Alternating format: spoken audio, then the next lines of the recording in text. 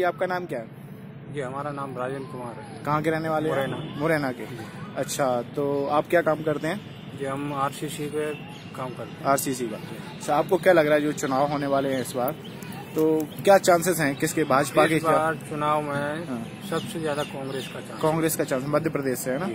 तो आप मुरैना के रहने वाले हैं। हाँ मुरैना के रहने तो मुरैना में भी आपको लग रहा है कि जो कांग्रेस की उम्मीद ज़्यादा है। वैसे तो सौ परसेंट ही होता है लेकिन हम लोग हाँ। यकीन के साथ कह सकते हैं कि एक सौ एक परसेंट कांग्रेस कांग्रेस आ रही है। अच्छा ऐसा किस लिए लग रहा है? आपको क्यों नाराज़ लग रहा है कि मुरैना क्या पूरे एमपी में ओमपी का पूरे ऑल इंडिया में बीजेपी का एकदम इतना मतलब प्रभाव हो गया उससे गरीब तबके का इंसान हम्म। सबसे ज़्यादा परेशान। अच्छा।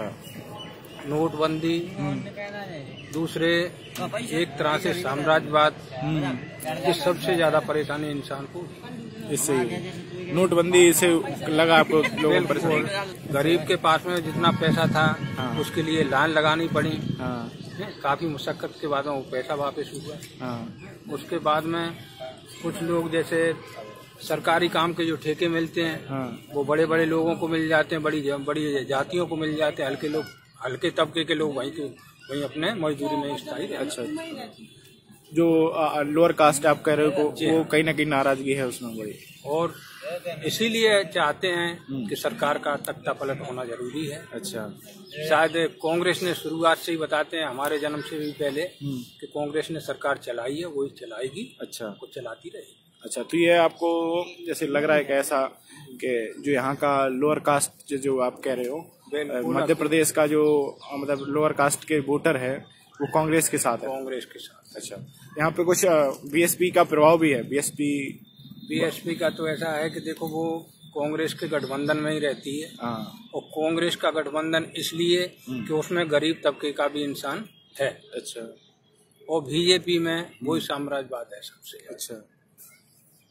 बड़े बड़े पूंजीपति ये सब बीजेपी पार्टी के लोग। हम्म। अच्छा ये ऐसा भी आपको लगता है कि जो जातिवाद है जातिवाद तो है सबसे ज़्यादा इस सरकार में बड़ा है। बीजेपी में सबसे ज़्यादा जातिवाद। अच्छा। आप वहाँ वहाँ से कॉन्टेक्ट ले लो। हम्म। छोटे मोटे कोई भी कॉन्टेक्ट मिलेगा तो बड़े लोगों को मिलेगा। हम्म। उसके बाद में जो मजदूरी का काम होगा वो हल्के लोगों को मिलेगा। उसकी भी पूरी मजदूरी इंसान को मिल नहीं पाती अच्छा। आ, मतलब भ्रष्टाचार भी है बीच में भी जो भी है। क्योंकि उनको डरा धमका के मार पीट के कैसे भी उनका पैसा हजम कर लिया जाता वहीं का वहीं उनकी पूरी तरह से मजदूरी तक नहीं मिल पाती। अच्छा मजदूरी भी नहीं देते? मजदूरी नहीं। अच्छा अच्छा। तो इसके इस जो एक मजदूरी नहीं देते और जो भ्रष्टाचार है बीच का इसके प्रति भी लोगों में नाराज़गी है कहीं पे? जी हाँ। अच्छा पिछले के पाँच साल में जो भी वादे किए गए थे पाँच जब मोदी सरकार आने से पहले उन्होंने वादे किए थे आपको लगता है उसमें से कुछ पूरे हुए?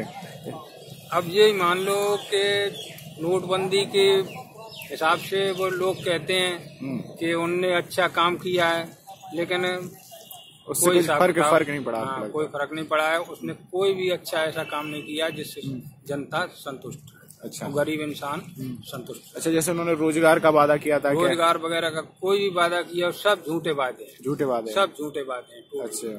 तो कई मतलब कई लोगों ने तो इसलिए वोट दिया था पिछली बार। वो कह रहे थे जो मोदी उम्मीद थी कि शायद की बात है सत्ता पलट जाए। हम्म, तो ऐसा होता है कि इंसान को चांसेस मिलता है। हम्म, तो शायद इंसान को देखे हाँ। उसके दिल दिल की बात समझे लेकिन उन्होंने किसी गरीब के दिल की बात नहीं समझी। हम्म, वो गरीब को वहीं का वहीं और उससे भी बदतर कर दिया। उससे भी बदतर कर दिया।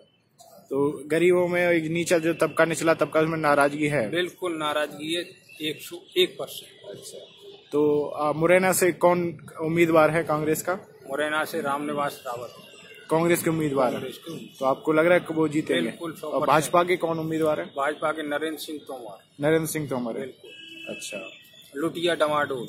अच्छा तो नरेंद्र सिंह तोमर तो पहले यहाँ के थे ग्वालियर पहले ग्वालियर के यानी कि यही तो हो रहा है कि सत्ता पलट इधर उधर होना। हाँ।